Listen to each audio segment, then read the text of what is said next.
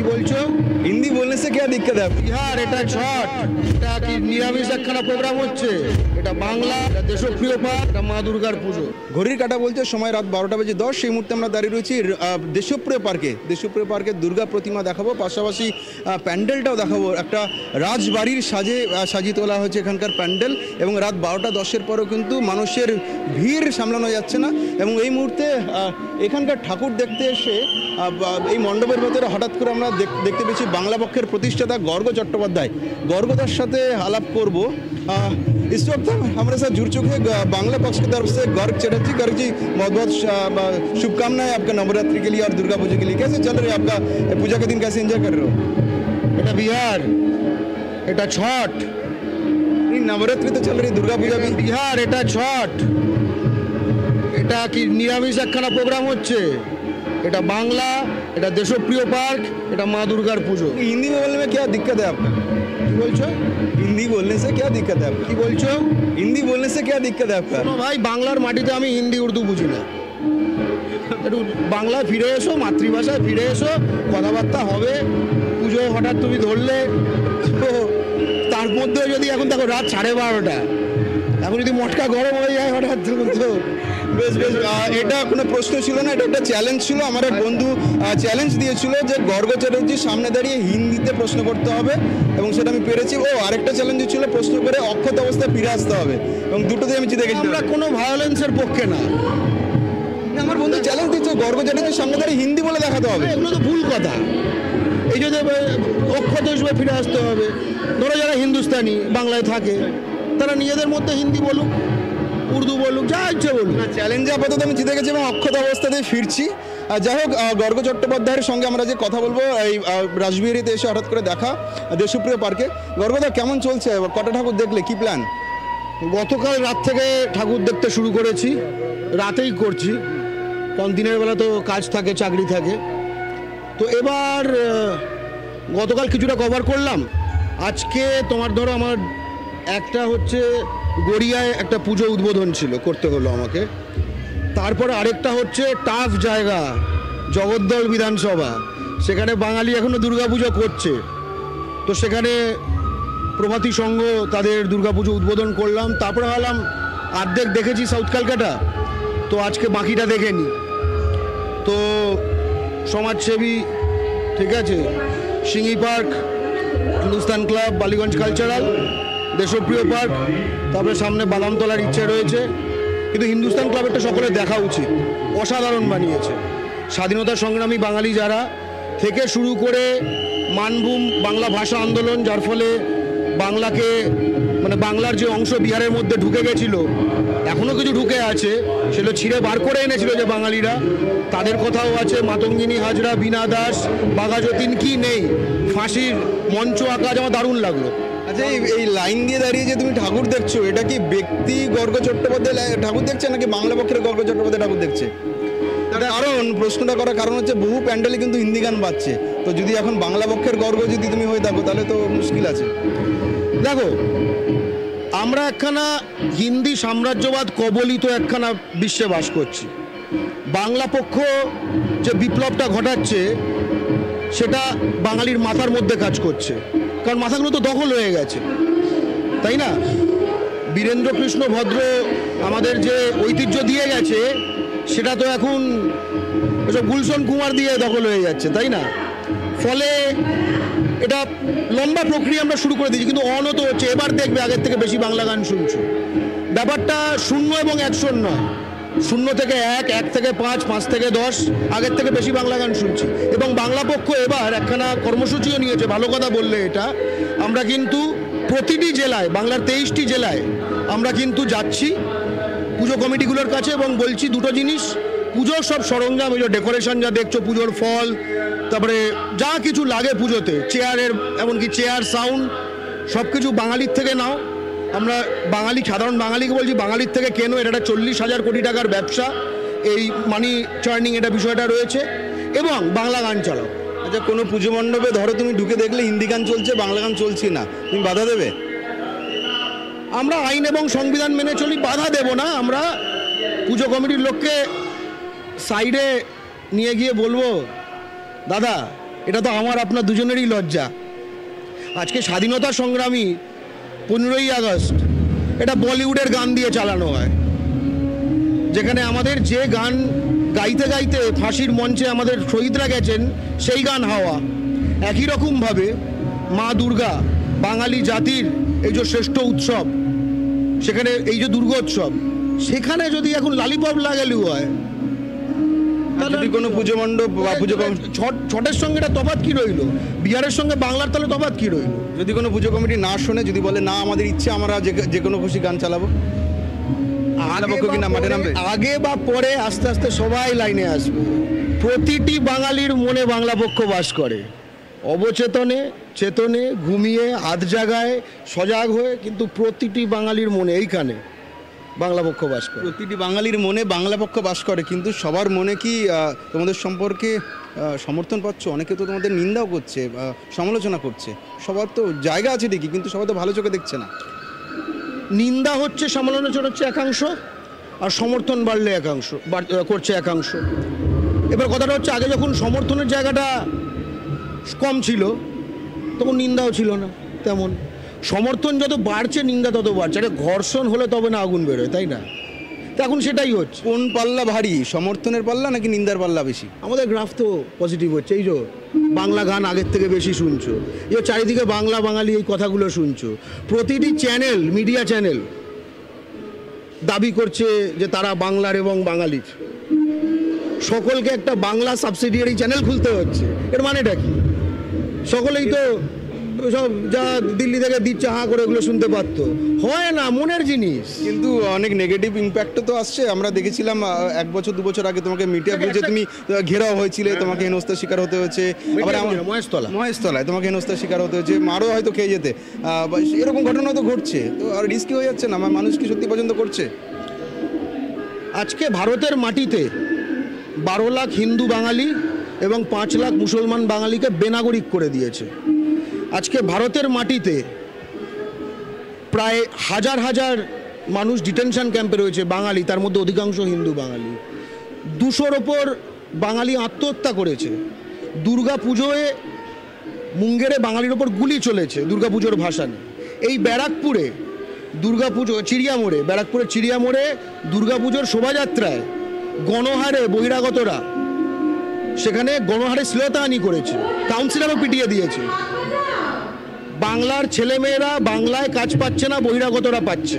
বাঙালি ছেলেমেয়েরা পাচ্ছে না। অনেক কষ্টে আছে। সেই তুলনায় আমাদের রিস্ক কিচ্ছু না। এবং এই রিস্কটা নিতে হবে। প্রতিটি বাঙালিকে এই রিস্কটা নিতে হবে। তার কারণটা হচ্ছে, আমরা ভালো থাকতে চাই। আমরা যদি ভালো না থাকি, কাল, কালকে মা দুর্গার পুজোটা তুলবে কারা? একটা জিনিস বলো তোমরা সব কিছুর মধ্যে বাঙালি ও অবাঙালি যে বিভেদটা করো এখানে আমি একটা বিষয় পরিষ্কার করতে চাই। তুমি যদি যে কোনো অপরাধীর মধ্যে অভিযুক্তের মধ্যে বাঙালি অবাঙালি ভাগ করছ পুলিশের মধ্যে বাঙালি অবাঙালি ভাগ করছ আমলাদের মধ্যে বাঙালি অবাঙালি ভাগ করছ তোমাকে একটা উদাহরণ দিই যদি একজন আহ, চুরি স্টপ করব একবার। আমরা অবাঙালি বলতে কিছু বুঝি না। আমরা কোনো তামিলের এগেনস্টে কিছু বলেছি। আমরা কোনো কন্নড়ের এগেনস্টে কিছু বলে উদাহরণ দিয়ে বলি ধরো ধরো আমি আমি উদাহরণ দিই আমি তেলেগু উড়িয়া পাঞ্জাবি তাহলে তোমার লড়াইটা কি শুধু ইউপি বিহারের বিরুদ্ধে? কারোর বিরুদ্ধে আমাদের লড়াই না। বিহার যতটা বিহারি তামিলনাড়ু যতটা তামিলের আমাদের গোটা বাংলা ততটা বাঙালির। আমরা তো সাম্যে বিশ্বাসী। বেশ আমি তোমাকে একটা উদাহরণ দিই। ধরো একজন চুরি করে ধরা পড়ল সে চুরি করাতে অভিযুক্ত এবং সে বিহারের বাসিন্দা। একজন সাধারণ মানুষের কাছে সে একজন চুরির ঘটনায় অভিযুক্ত। তোমার কাছে সে একজন বিহারি চোর। এই ভেদাভেদটা কেন করছ তুমি? বিহারি চোর আমরা বিহারি কথাটাই ব্যবহার করি না। যা। বাঙালি চোর বলছো? না, কিন্তু কেন? আমরা বিহারি অবাঙালি শব্দগুলোই আমাদের অভিধানে নেই। কিন্তু আমি জাস্ট একটা কথা জিজ্ঞেস করছি।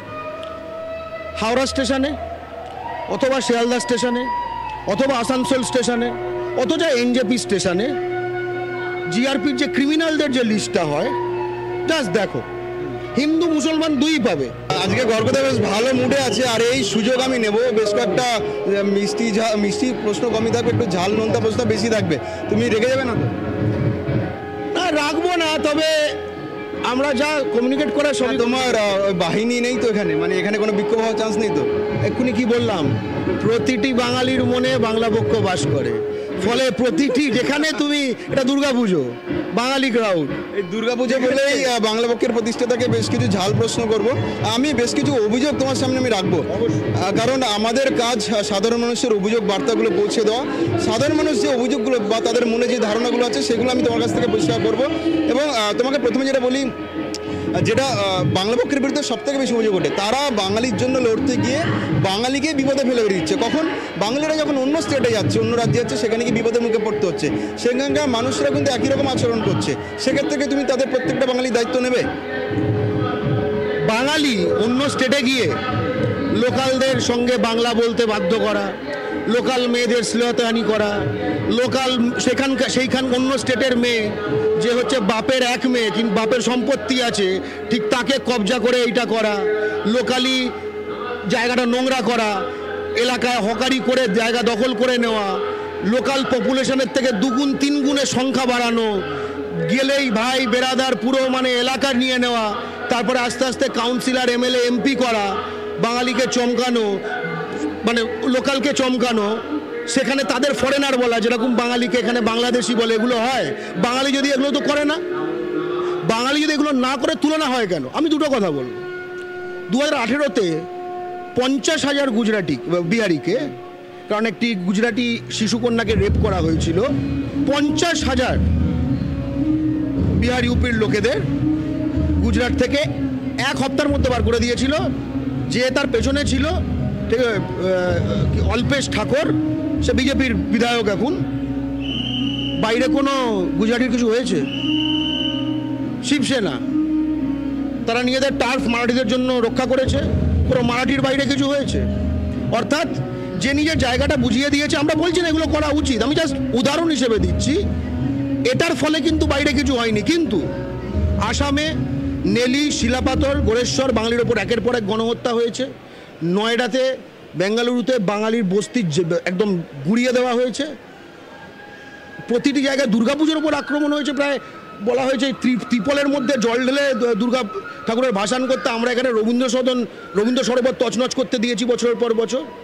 এটা চলে না, ভারতে একটা নিয়ম চলবে, পশ্চিমবঙ্গ কিন্তু মঙ্গল গ্রহে নয়। আচ্ছা ধরো তুমি গুজরাটে গেছো ঘুরতে বা কোনো কাজে, সেখানকার কোনো এক গুজরাট পক্ষ, সে তোমাকে গুজরাটি বলতে বাধ্য করল, তখন তুমি কি করবে? যার ঘরে খাচ্ছ, তোমার তার ভাষা শিখে নেওয়া উচিত। তাহলে তুমি গুজরাটে গেলে কি গুজরাটি ভাষা বলবে? যদি আমি চাই যে গুজরাটিদের সঙ্গে আমি শান্তিপূর্ণ সহাবস্থান করতে চাই, তাহলে আমার গুজরাটি শেখা উচিত। কারণ যে আমায় খাওয়াচ্ছে, তার দায়িত্ব আমার ভাষা শেখা। তুমি কালকে গুজরাট যেতে হলে কোনো একটা এমার্জেন্সি দরকারি কালকেই তো তোমার একদিনে, তোমার পক্ষে গুজরাটি ভাষা শেখা সম্ভব না। সেক্ষেত্রে তুমি কি করবে? যদি এখন তোমার সাথেও যদি একই জিনিস করা হয়, যে এখানে থাকতে গেলে গুজরাটি বলতে হবে, এটা পশ্চিমবঙ্গ নয়, যদি তোমাকে বলা হয়, তখন কি করবে?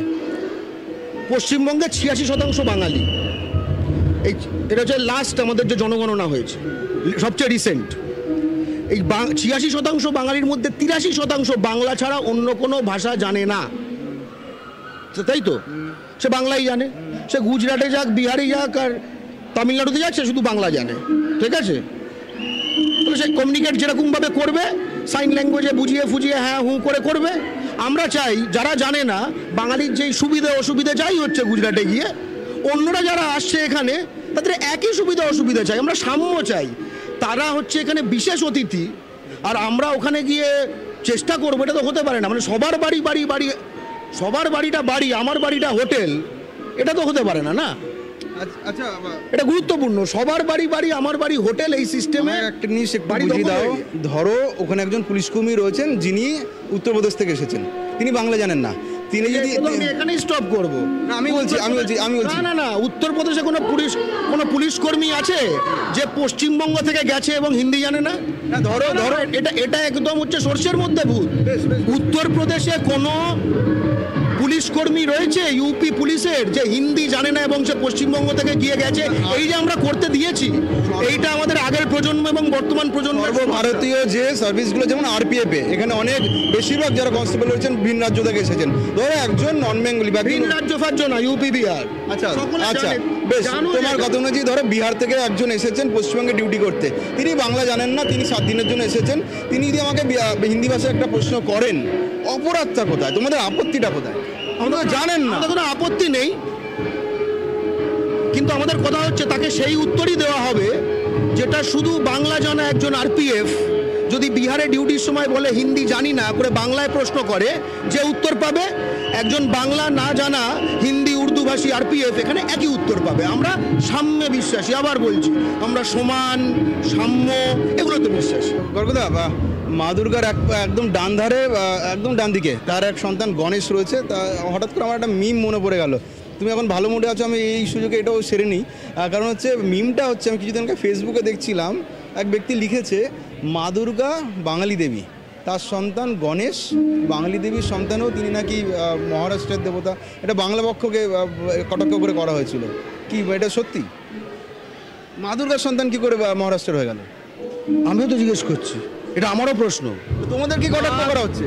আরে কটাক্ষ যে করছে তুমি যে সাধারণ মানুষ বলছো তারা তো অসাধারণ মানুষ কারণ বাঙালির থেকে তো বাংলা পক্ষ আলাদা কিছু নয়। মা দুর্গা ওখানে গণেশ ঠাকুর সেখানে ইঁদুর বাহন মুশিক বাহন পাশে কলাবউ এখনও পুজো শুরু হয়নি তাই কলাবউ দেখতে পাচ্ছ না। এটা তো বাংলার শাশ্বত চিরাচরিত জিনিস। এর সঙ্গে আমাদের বিরোধ কোথায়? অক্ষয় তৃতীয়া ঠিক আছে? যে তারপরে যে সেখানে যে গণেশ ঠাকুর অর্থাৎ ইঁদুর আলা গণেশকে আমরা চিনি চিরাচরিত উনি গণেশ ঠাকুর পেট্টি নাদা এবং গণেশ মন্ত্র রয়েছে যে লম্বদর ঠিক আছে স্ফীতদর মানে মোটা মানে বুঝতেই পারছ যেরকম মনে হয়, এখন দেখো এখানে এইটা দেখবে। এরপরে যখন দেখি সিক্স প্যাক আলা অর্থাৎ যেগুলো আমাদের শাস্ত্র বিরোধী ধর্ম বিরোধী। এখানেও অসুর কিন্তু সিক্স প্যাক রয়েছে। অসুর নিয়ে কিন্তু গণেশ অসুর কি বাঙালি? অসুর বাঙালি, এই প্রশ্নটাই তো অপ্রাসঙ্গিক। আমরা বলছি যে বাংলা এবং বাঙালির চিরাচরিত সংস্কৃতি, আধ্যাত্মিকতার সঙ্গে সেটা সাজুজ্য আছে কিনা? এই মানে রাস্তাঘাটে আমার, আমরা কাজ করি সাংবাদিকতা করি। তো বহুদিন ধরে একটা প্রশ্ন মাথায় আসছিল আজকে তোমাদেরকে এরকম একটা ভালো মুডে এটাও ক্লিয়ার করে নিতে চাইছি। আমি, তুমি এতক্ষণ ধরে এই বিগত তিরিশ মিনিট ধরে যে চ্যানেলকে প্রতিক্রিয়া দিলে, সেটাও কিন্তু আজ তাক বাংলা। আজ তাক বাংলা। কোন চ্যানেল বলো? আজ তাক বাংলা। আজ তাকটা তো হিন্দি শব্দ একটা হিন্দি চ্যানেলের বাংলা চ্যানেল। তো আমাদের কোনো চাপ নেই তো? তোমাদের আমি স্পষ্ট কথা বলি। ইস্ট বেঙ্গল মোহনবাগান ম্যাচ এই আজ তাক বাংলার বাঙালি ভিউয়ারশিপ থেকে শুরু করে দুর্গাপুজো। বাঙালি যেখানে বাংলা পক্ষ, সেখানে। আমরা কোনো চান্স মিস করব না। ধন্যবাদ, কথা বললাম। গর্গ চট্টোপাধ্যায়, বাংলা পক্ষের প্রতিষ্ঠিতা। একটা দীর্ঘ আড্ডা হলো এবং পুরো মজার ছিল আমি প্রচুর নেগেটিভ প্রশ্ন করে নিয়েছি। তুমিও মজার ছিল সবকটার উত্তর দিয়েছ। অসংখ্য ধন্যবাদ, গর্গদা। এইভাবে আমরা আড্ডা মারতে থাকব সকলের সঙ্গে এবং আপনাদেরকে পুজো দেখাতে থাকব। দুর্গাপুজো চলছে। সমস্ত ঠাকুর কিন্তু আমরা আপনাদেরকে দেখাচ্ছি প্রত্যেকদিন ইউটিউব চ্যানেলে আমাদের আস্তাক বাংলা ইউটিউব চ্যানেলে আমাদেরকে নজর রাখতে হবে। এর জন্য সাবস্ক্রাইব করতে ভুলবেন না। আস্তাক বাংলার ইউটিউব চ্যানেল কারণ দেশের ভরসা এখন বাংলার ভরসা